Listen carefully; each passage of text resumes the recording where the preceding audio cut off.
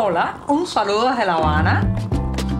Les habla Joanny Sánchez, cubana, periodista, ciudadana, y les traigo este cafecito informativo recién colado y sin azúcar para despertar.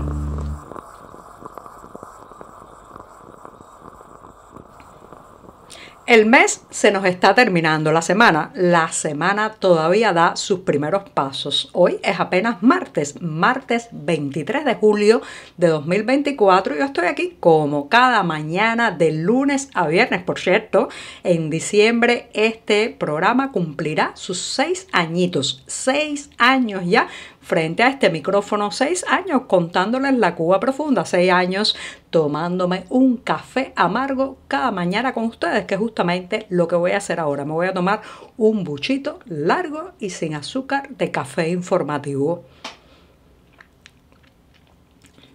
Después de este sorbito, pues paso a contarles que hubo un tiempo cuando señalar, criticar, quejarse del funcionamiento de cualquier entidad estatal, de cualquier empresa oficial, eso, señoras y señores, era prácticamente como emplazar al mismísimo Partido Comunista. Eso era impensable. La gente se callaba sus quejas, la gente se tragaba sus críticas al funcionamiento de estas entidades porque era como cuestionar prácticamente el modelo político, las figuras en el poder, al hombre sentado en la silla presidencial. Afortunadamente eso ha ido cambiando. La ineficiencia de estas empresas, el deterioro de su infraestructura, el irrespeto a los clientes y además la propia rebeldía que ha ido brotando poco a poco y a pesar del miedo en la sociedad cubana ha hecho que estas entidades estatales cada vez sean más el blanco, la diana del malestar, el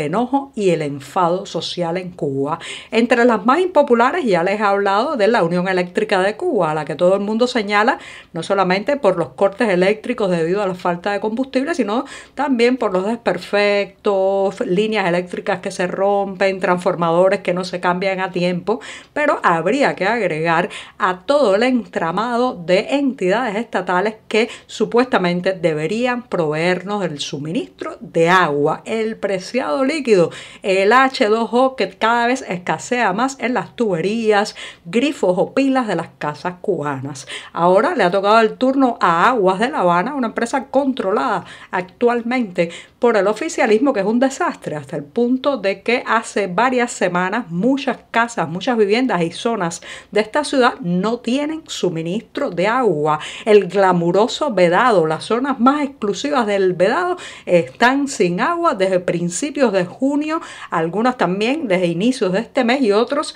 señalan que desde mayo en partes de La Habana Vieja y Centro Habana tampoco ha llegado el suministro. Viven a base de las llamadas pipas o camiones cisternas que muchas veces los propios vecinos tienen que pagar de su bolsillo para tener. Entonces, Aguas de La Habana se ha convertido en el objetivo principal del encono popular y ya le han cambiado hasta el nombre a la empresa. La gente se refiere a esta entidad como roturas de La Habana, por siempre, siempre tiene algo roto. Cuando no es una bomba eléctrica que debe llevar el agua por las conductoras, son las conductoras mismas. Cuando no cae un rayo en el lugar donde debe encenderse el suministro eléctrico para hacer funcionar este bombeo de agua, siempre es una cosa. Lo último le ha pasado este domingo cuando una oscilación, un corte eléctrico y el regreso abrupto de la electricidad provocó eh, una, una tensión hidráulica dentro de las tuberías que rompió una gran conductora en tres partes diferentes. Las imágenes son dantescas. Ningún trabajador tiene casco o el casco que tiene es de una motocicleta.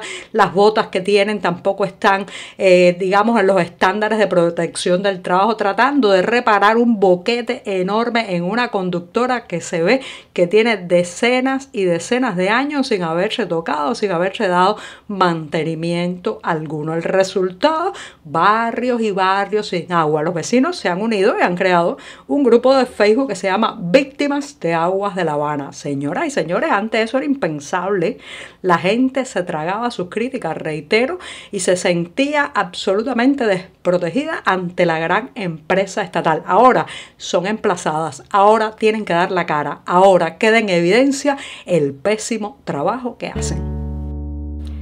Si a usted es de aquellos a los que les gusta un buen plato de potaje de frijoles negros, bueno, tengo malas noticias. Los frijoles negros están jugando a los escondidos por estos días. A decir del humor popular, han sido secuestrados como el pollo congelado porque han llegado los precios topados, las tarifas máximas a las tarimas de los mercados agrícolas aquí en La Habana, en una resolución firmada por la propia gobernadora de la provincia que pues fue rubricada el pasado 12 de julio, se imponen eh, precios topados a varios productos que consideran básicos, entre esos el frijol negro que se le pone un máximo de precio de 300 pesos cubanos. ¿Qué ha traído eso como consecuencia?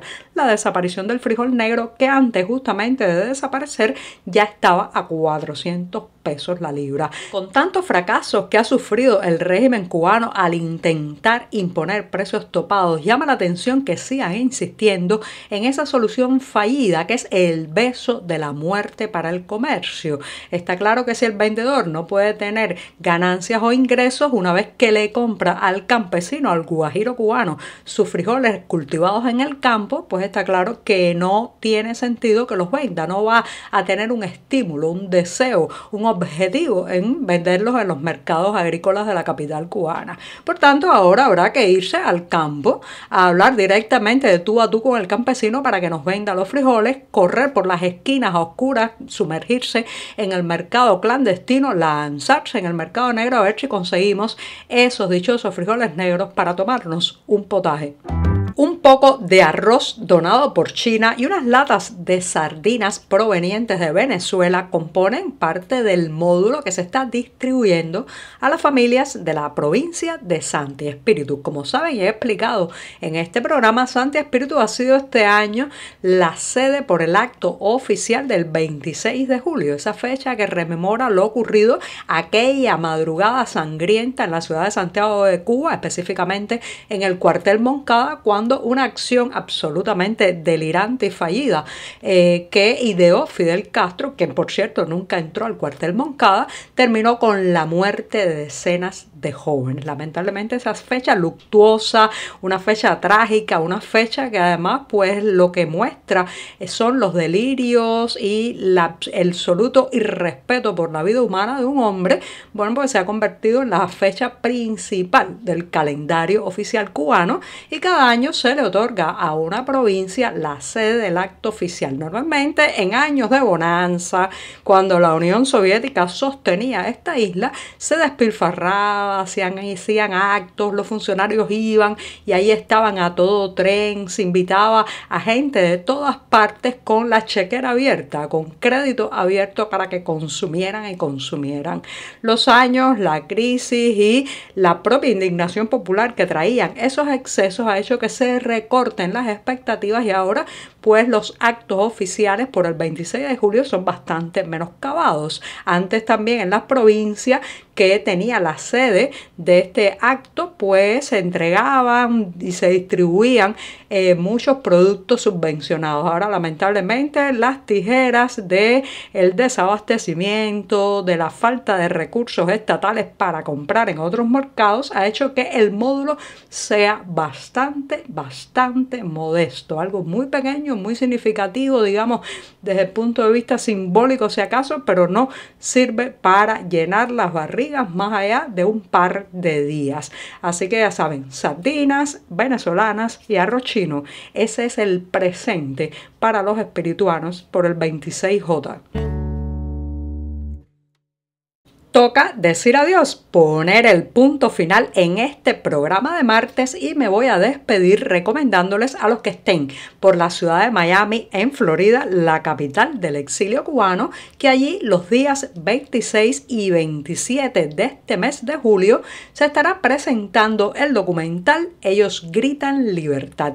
Se trata de un audiovisual que refleja los momentos, esos momentos históricos que se vivieron en las calles de esta isla los días 11 y 12 de julio de 2021. Las históricas protestas que sacudieron el país que lamentablemente fueron respondidas con represión, violencia, cárcel y largas condenas contra los manifestantes. Este documental, que es de la cineasta taiwanesa estadounidense Melinda Raipine, ha recibido ya varios galardones en diferentes festivales de cine a lo largo del planeta y eh, tiene eh, muchísimas escenas, algunas conocidas, otras poco difundidas, aquellas manifestaciones populares del 11J.